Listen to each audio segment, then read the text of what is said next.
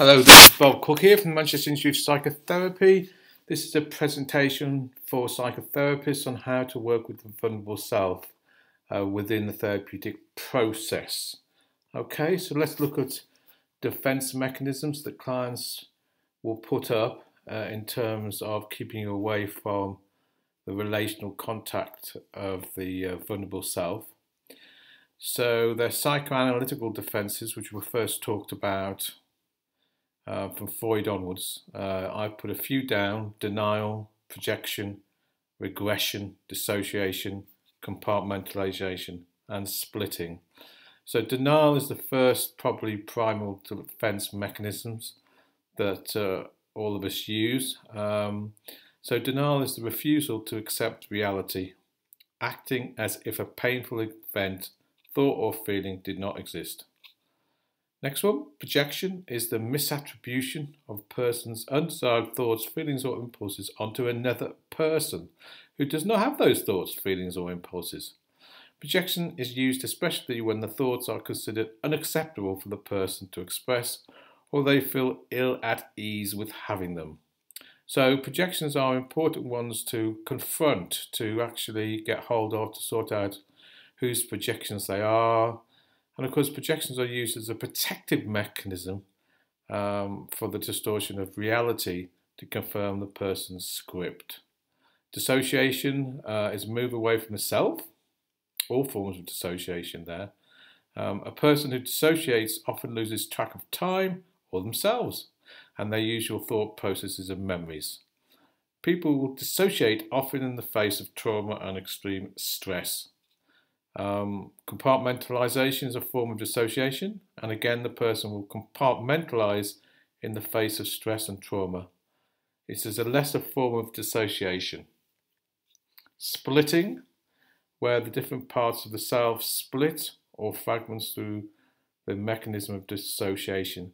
Again, splitting is used uh, creatively as a defense mechanism. So they are defended against the real self and um, Sometimes the splitting is called the move to the adapted self. Um, either way, the therapist's job is to help the person integrate the different parts of the person. Okay, uh, let's look at regression. So regression is going back to an earlier developmental stage in the face of unacceptable thoughts or impulses. So, in the face of trauma and the face of stress or unacceptable thoughts or impulses, they will regress to a younger age, often to protect the self and a move away from reality. Okay, other defense mechanisms uh, are TA mechanisms. We can look at them. Transaction analysis defense mechanisms. Um, Eric Berne and the Gouldings came up with uh, the decisions that the young child uh, may make. Um, don't exist, don't be you, don't think, don't be sexual, etc. Um, these were called injunctions in TA terms. And an injunction to the script and is defending against um, the person being hurt.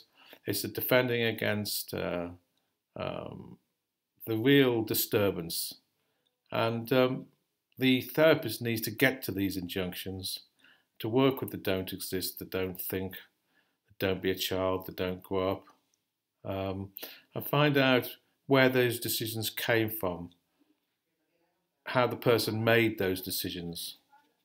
Of course, they will be made at a time of stress, and they stop the person achieving the nectar of today. Um, other TA defences which are a defense against the injunctions, of course. Try hard, be perfect, please others, hurry up, be strong.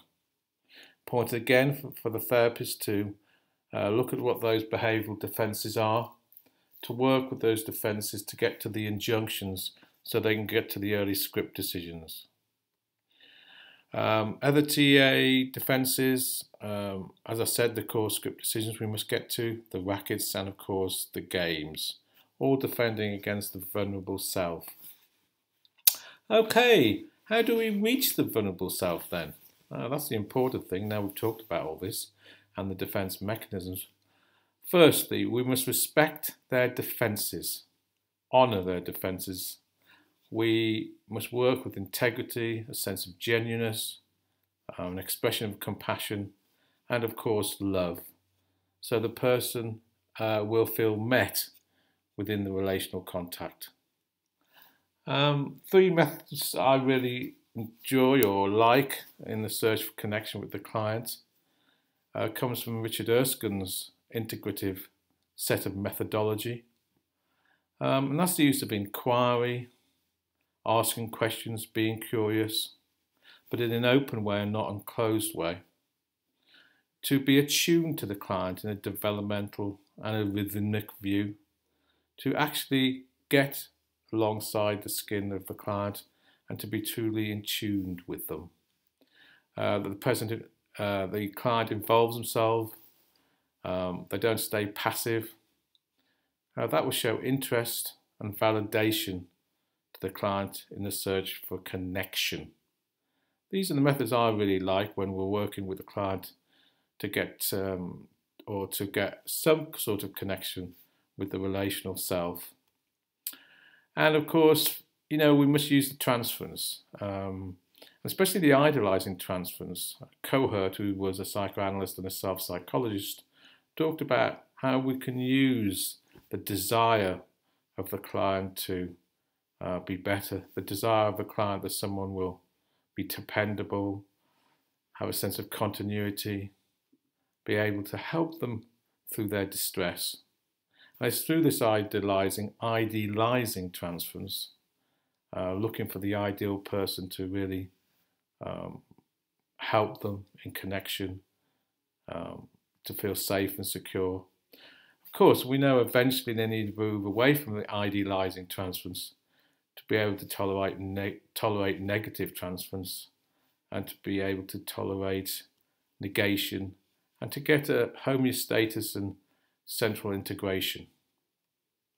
Okay, um, a quick slide on the relational needs. Um, the vulnerable self um, will need.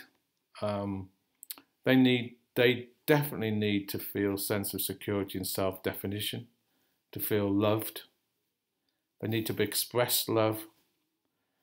They need acceptance by the dependable other, either the therapist in this case, and they need to make an impact and not be, um, you know, ignored or not heard.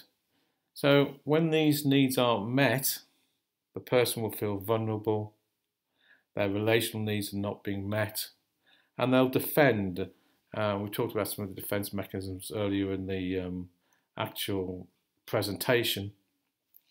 So as we start to prepare the fertile ground, i.e. the need for security, self-definition, etc., then we'll be able gently to work with them through their defense systems to give support and to help repair some of the relational needs that weren't met back in their origins and early history.